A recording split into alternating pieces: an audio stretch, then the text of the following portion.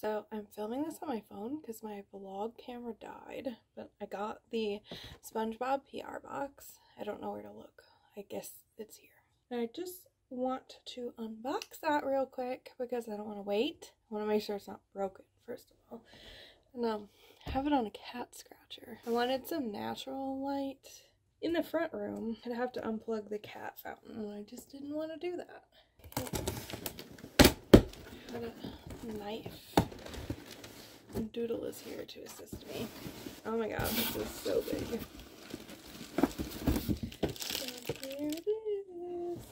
Oh, I can flip it around maybe. I went with, uh, uh, please excuse these clothes. Can get it open with one hand, or can I? Oh, I can. Oh, it's so cute. It doesn't look like anything is broken, which is great. Okay, so we got three sponges, which I mentioned. I don't know that I'm going to be able to use these because look at how cute. And Patrick is backwards. Oh, there he is. And Squidward. I'm really excited about this. I have one that came with a beauty blender cleaner, but uh, this is cuter. Sorry if I'm like huffing in the phone. Very out of breath. Okay, that's kind of in there. The highlighter. This is a little sponge case. A flat kabuki brush. Which it's pretty cute. I don't know what I'm pointing you at. And then around I don't have any of these kinds of brushes, so we'll see. Brush cleaner. This is a solid one. And then setting spray. Hydrating and brightening. Primer mist. This sounds like a liquid primer. And then purifying setting mist. And of course we have the eyeshadow palette. I've seen some people quickly review it and say they like it. So we'll do that later. I'll actually use it and we'll see what happens. And oh, here's the highlighter. I saw this as a dupe for the Fenty gold one she has. Trophy wife. That I drew a blank. Oh, that's kind of cool. It's like a rainbow shade, maybe. I'm sure it won't come out rainbow. Not excited about pressed glitter, but let's let's just admit this is a cute palette. Here's the inside of the box. I will obviously be keeping the box because it's very cute. Uh, yeah, so I just wanted to get on here real quick and even though my vlogging camera said it had two bars of battery, it uh, turned off on me. So clearly didn't. Uh, you'll catch me back here shortly while I do like my first impressions. See you in a minute. I am back and ready to test some makeup. I did all my base on my brows. I just wanted something light to uh, add it on. Obviously the other products are the star of the show, but I wanted to make a quick note that this ABH foundation seems to look a lot better on my skin using like a brush. I put it on my face with a sponge and then I realized I wanted to test it with a brush. So I don't know if it looks better because of the brush or because I used a different primer. Maybe it doesn't like my primer. I used this hydrating and brightening primer mist that came with the box. It has a really strong smell. Kind of like floral, sweet floral, like floral candy, I guess I would say. Um, and it has left, I don't know, you'll be able to see it, but there's glitter all over. I don't know. Interesting enough, the foundation covered all of the glitter. So, I mean, that's cool. I'll continue to use it if it worked. I don't know if it'll do anything, and I'm not sure if uh, it did nothing and this foundation just hates my normal primer or if it did something or it was just the brush. So I have to test it again before I uh, say that I found a cure for this. The other thing is I got this NARS set for my birthday gift from Sephora, like all the minis. And NARS Laguna is um, officially my holy grail bronzer. It doesn't look orange on me. It's a very flattering, warm thing. I also got, I think it's like a matching chapstick. I haven't tried that yet. Anyway, back to why we're here. I realized when I was doing my face, I should have used this for my contour and this for my blush. It's already on, so it's a little late. I can't say how those brushes work. I don't plan on using these sponges, which I think I said in the unboxing part. They're just too cute. They're gonna be little keepsakes. I will try the setting spray afterwards. I will obviously use the um, brush cleaner. We still have the highlighter. I don't want to mess up SpongeBob's cute little face. Look at his face, not mine. It's so cute. And now I have the eyeshadow palette. I'm going to open it.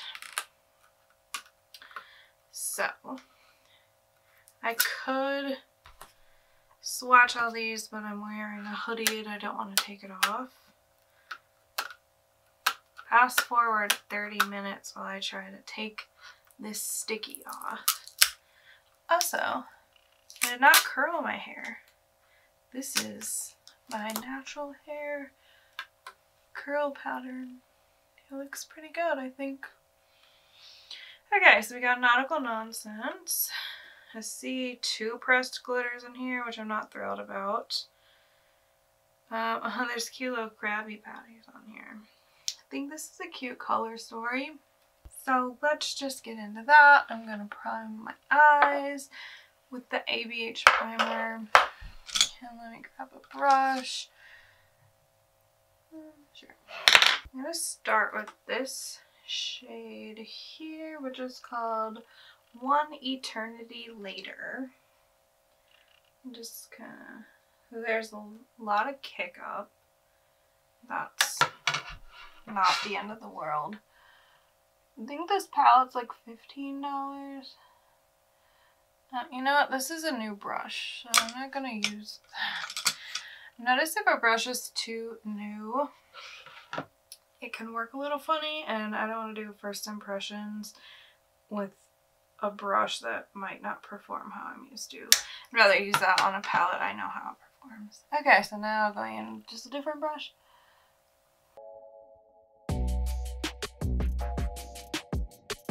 There's some nice options if you just kind of want to do like a nude look. So that's nice. I'm going to go with, let's try the blues. I'm going to go in with this shade here that is called Secret Formula. It does have marked on the back which ones are pressed pigments and which ones aren't. This is a pressed pigment. Actually blending out fairly nicely. I'm to leave that for a minute and do this other eye. There's a little bit of fallout, so maybe do your foundation last if you're one of the people who don't want to deal with that. I don't know why I always do my foundation first. I'm going to go in with this shade, Mayonnaise, and blend the edges.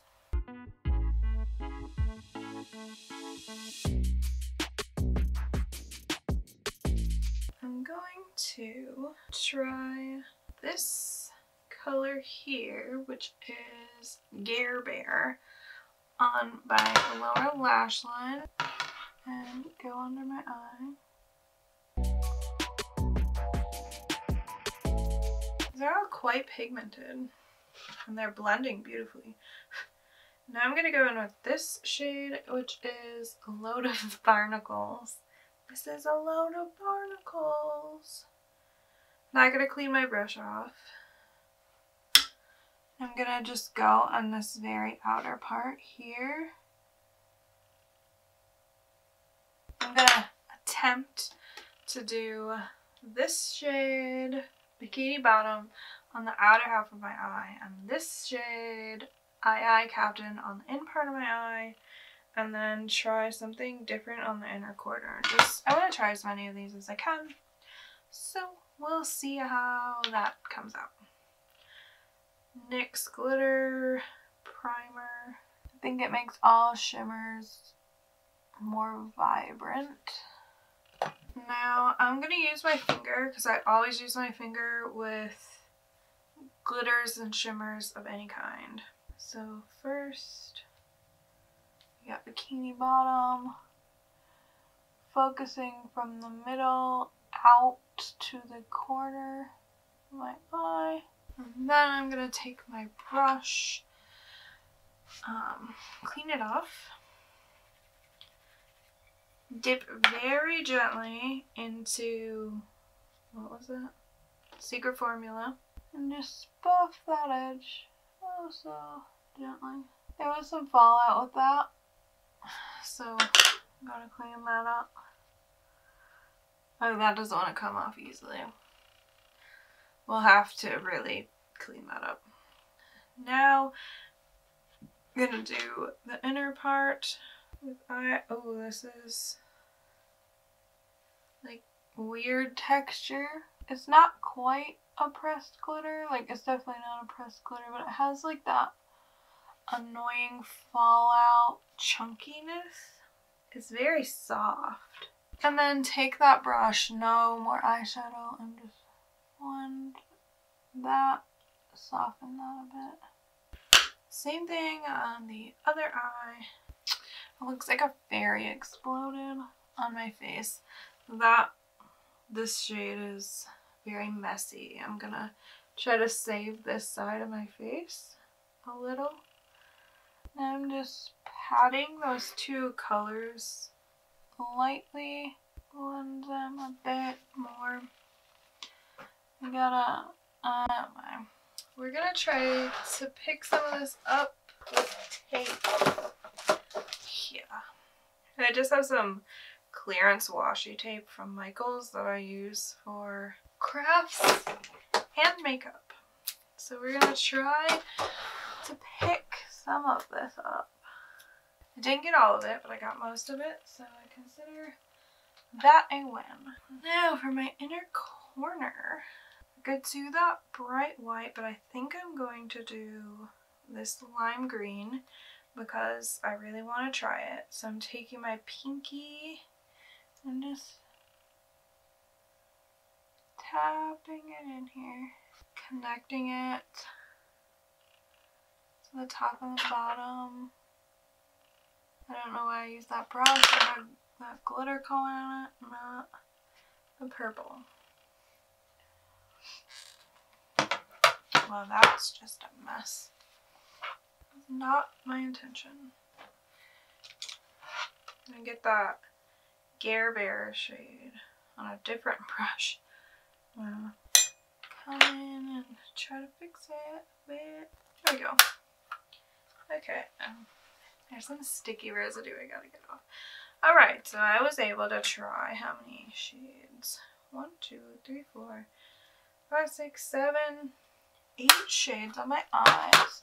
So I think that's a pretty good um, estimate, or pretty good amount to be able to tell you how I feel before I do mascara and Sam liner, not even calling it eyeliner because I don't use it properly, I'm going to try the setting spray. This is just purifying setting mist. We'll see.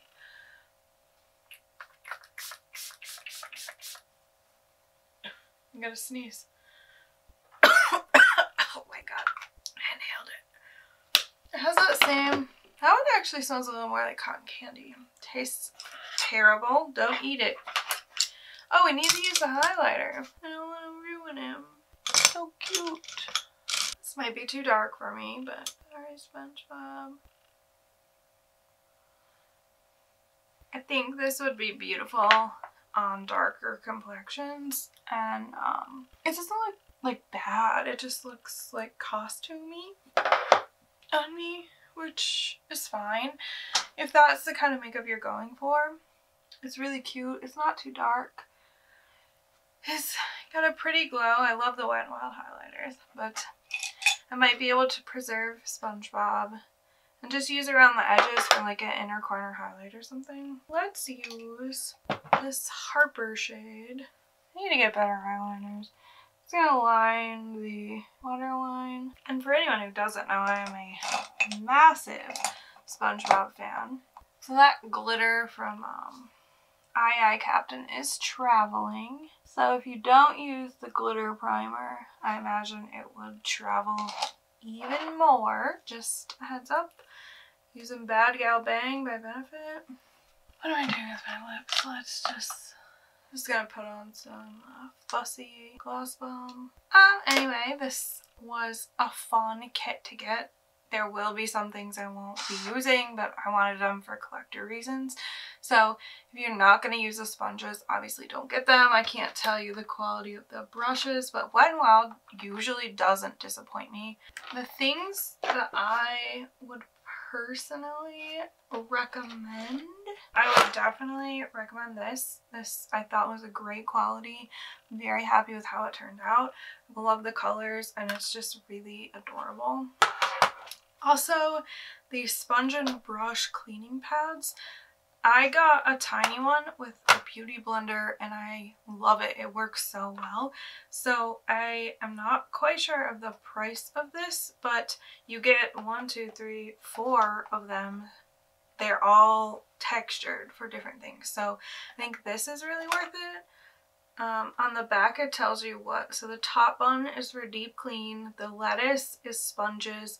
The patty is for eye brushes and the bottom bun is for face brushes. So that's handy. I would say this for complexions like medium to deep, it would be really flattering if you only want one thing from this collection and you can get your hands on it. I will say this is worth it.